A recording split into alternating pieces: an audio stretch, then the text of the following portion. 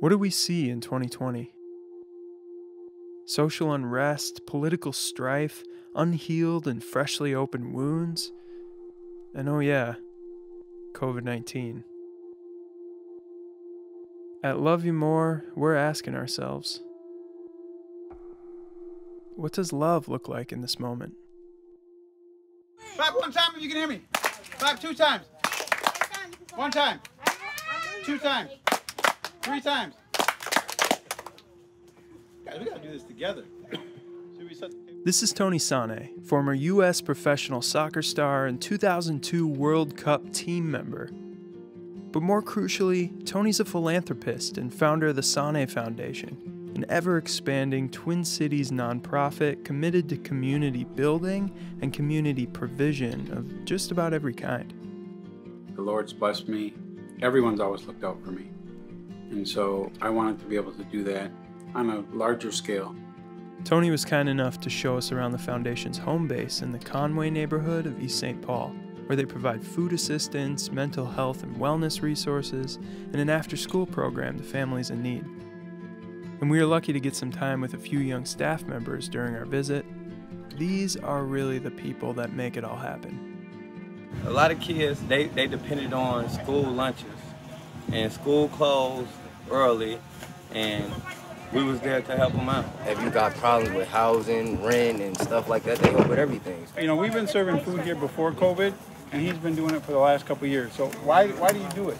Why do you come here and serve food for the community for us, and why do you volunteer at the Sanneh Foundation? Because that's what we should be doing. That's what we need to be doing. Right. Not taking from each other, but helping each other. Right. The Foundation's flagship academic intervention program, Dreamline, pairs young coaches with under resourced students at high schools around Minnesota.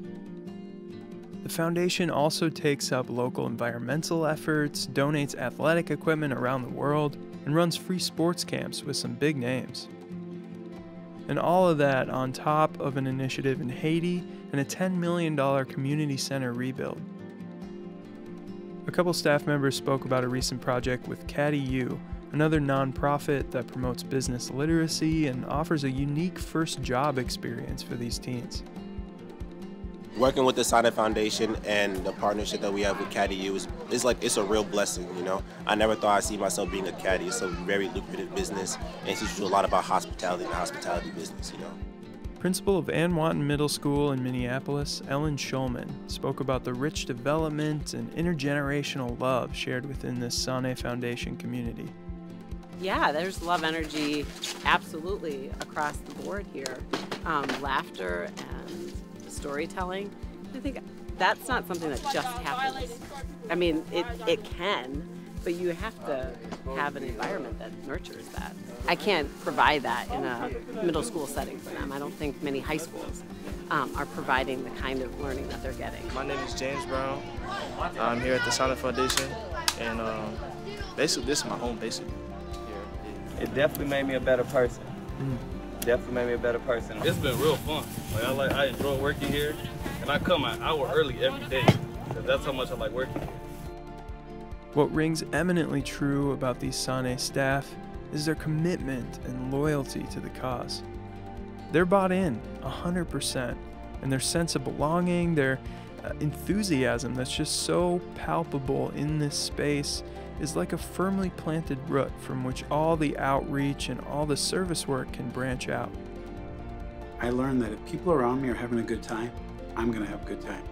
So selfishly, I want to make sure everyone's having a great time because then my experience is going to be better. My World Cup, the highlight of my career, right? People say, was it the highlight? Yes, the World Cup was, but it wasn't on the field.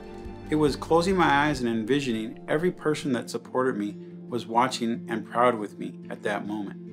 You know, and it is about people, and that's what this place is about.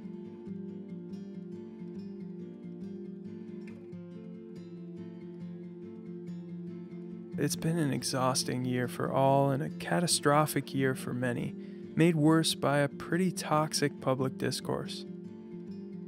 Cynicism, negativity, there's a lot of this self serving signaling and grandstanding out there as well.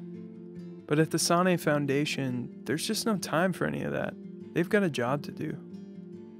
These young kids, teenagers, adults, They know they're part of something good, something constructive, something loving, and they can walk confidently in that truth. So, what does love look like in this moment? Love is action. Love is optimism. Love is hope and opportunity. Love is home. We want to help families, and we're not going to stop until the problems stop. So we're here for the long haul.